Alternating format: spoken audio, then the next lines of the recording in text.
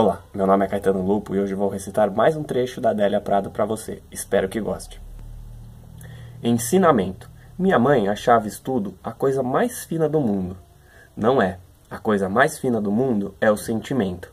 Aquele dia de noite, o pai fazendo serão, ela falou comigo. Coitado, até essa hora no serviço pesado. Arrumou pão e café, deixou o tacho no fogo com água quente.